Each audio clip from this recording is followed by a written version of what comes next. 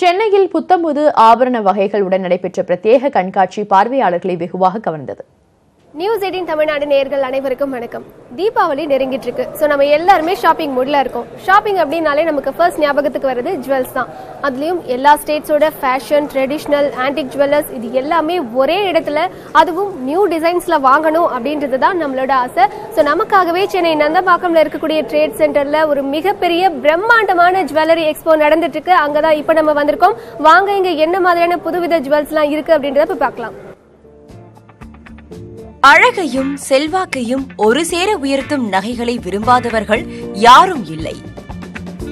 புத்தம் புது வடிவமைப்புகளில் அத்தனை நகைகளும் ஒரே இடத்தில் காண கிடைத்தால் எப்படி இருக்கும்?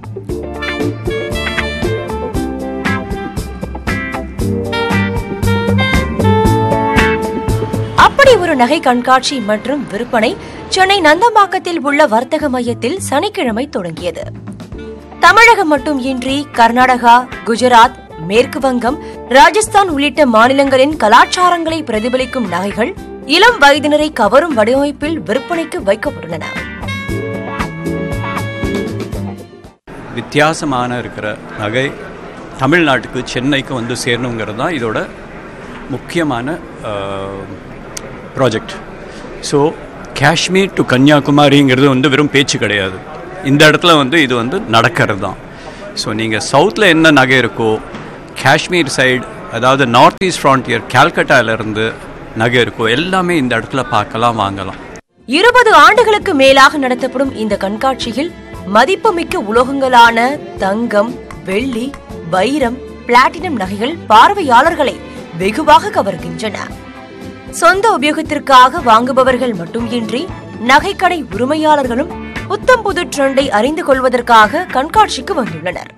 பத்து வருஷத்துக்கு மேலே வந்துட்டு இருக்கோம். இந்த எக்ஸ்போ எங்களுக்கு ரொம்ப பிடிச்சிருக்கு யூஸ்ஃபுல்லாக இருக்குது ஆன்டிக் ஜுவல்ஸ் இப்போ ரொம்ப நிறைய வந்திருக்குது மாடரேட்டாக வந்திருக்குது.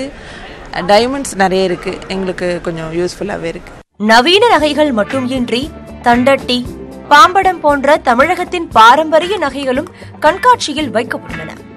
மற்ற நகைகள் போன்ற வரவேற்பு இல்லாவிட்டாலும் பாரம்பரியத்தை கைவிடக் கூடாது என்பதற்காக தண்டட்டியை செய்து வருவதாக கூறுகிறார் மதுரையை சேர்ந்த வெங்கடேசன். பாரம்பரியமாக தண்டட்டி பாம்படம் பண்ணிக்கிட்டு இருக்கோம்.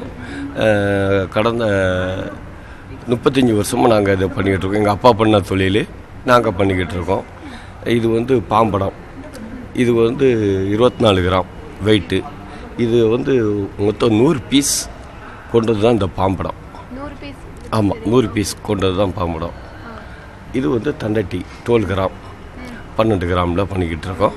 நாளை வரை நடைபெறும் இந்த கண்காட்சியில் நூற்றுக்கும் மேற்பட்ட நகை தயாரிப்பு நிறுவனங்களின் அரங்குகள் இடம்பெற்றுள்ளன. ஏகப்பட்ட கடைகள் எக்கச்சக்கமான டிசைன்ஸ்ல தங்கம் வெள்ளி வைரம்னு விதவிதமான நகைகளை இந்த கண்காட்சியில பார்த்தோம். எனக்கு ரொம்பவே பிடிச்சிருந்தது. கண்டிப்பா உங்களுக்கும் ரொம்பவே பிடிச்சிருக்கும். ஒளிப்பதிவாளர் நாச்சியப்பனுடன் அம்ருத் தீபக் நியூஸ் எயிட்டீன் தமிழ்நாடு.